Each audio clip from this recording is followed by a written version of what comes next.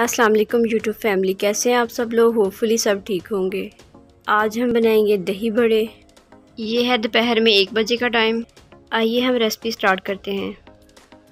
एक medium size का टमाटर और खीरा जिसे मैंने बरीक काट लिया है और ये है एक पाव दही। दही काफ़ी थिक है।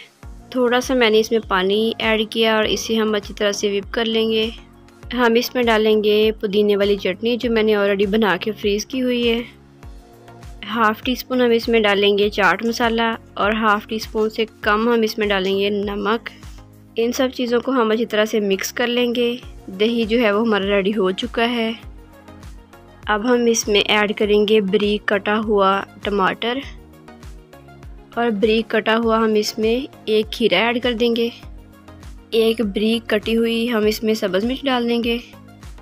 दो मीडियम साइज़ के ब्रीक कटे हुए प्याज, वो भी हम इसमें डाल देंगे। ये भलियाँ जिसे मैंने आधा घंटा पहले भगो के रखा हुआ था। इन सब चीज़ों को हम अच्छी तरह से मिक्स कर देंगे। ये सिंपल सी रेसिपी है और गर्मियों में वैसे भी रोटी खाने को दिल नहीं करता तो इस तरह की चीज़ें जो हैं वो अच्छी लगती हैं दोपहर टाइम। सिंपल से हमारे दही बल्ले जो हैं वो रेडी हो चुके हैं। अब हम सब लोग मिल के दही बड़े जो हैं वो इंजॉय करेंगे। आई नो दही बड़े बनाने की काफ़ी रेसिपीज़ हैं, लेकिन घर में जो भी चीज़ें अवेलेबल थी, मैंने उससे इस तरह से बना लिए ज़रूरी नहीं कि घर में हर चीज़ हर वक्त अवेलेबल हो, कभी कोई चीज़ मिसिंग भी होती है। वीडियो अच्छी लगे तो लाइक शेयर सब्सक्राइब कर लीजिएगा। डिनर के लिए मैंने बनाए हैं आज ब्लैक चने। इनको मैंने दो से तीन घंटे पहले भगो के रख दिया था।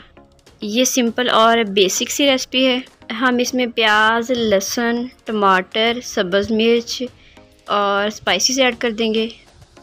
वन टीस्पून मैंने इसमें रेड मिर्च डाली है, हाफ़ टी स्पून हल्दी डाली है, वन टीस्पून इसमें मैंने नमक डाला है, हाफ़ टी स्पून मैंने इसमें साबुत ज़ीरा डाला है।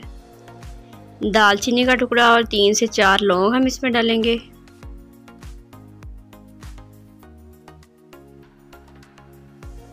वन टीस्पून हम इसमें डालेंगे खुश्क धनिया पाउडर। पानी हम इसमें डालेंगे दो ग्लास।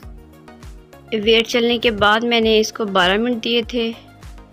12 मिनट में इसका पानी अच्छी तरह से ड्राई हो चुका था और चने भी अच्छी तरह से गल चुके थे। घी डालने के बाद हम इसकी अच्छी तरह से बुनाई कर लेंगे।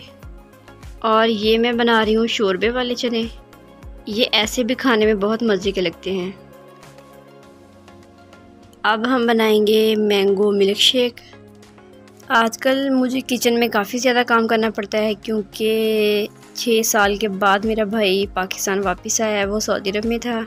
इस तरह से सारा दिन मेहमानों की भी रौनक लगी रहती है, कोई ना कोई उससे मिलने आता रहता है।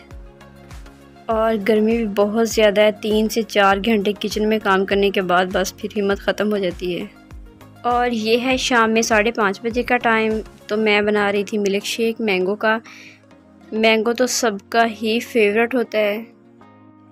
लेकिन अभी इसका ना इतना अच्छा टेस्ट नहीं है। गर्मी तो है ही, लेकिन लाइट भी बहुत ज़्यादा जा रही है। इस मसरूफियत की वजह से डेली वीडियो में अपलोड नहीं कर रही हूँ। क्योंकि मेहमान आए होते हैं तो इस तरह से जल्दी से खाना बनाओ और उनको पेश कर दो। जब टाइम थोड़ा ज़्यादा होता है तो फिर मैं जल्दी से वीडियो शूट कर लेती हूँ। कल से थोड़ा सा मौसम ठीक है कभी कभी बादल हो जाते हैं। आप लोग बताएँ कि आप लोगों के सिटी में बारिश हुई या नहीं हुई?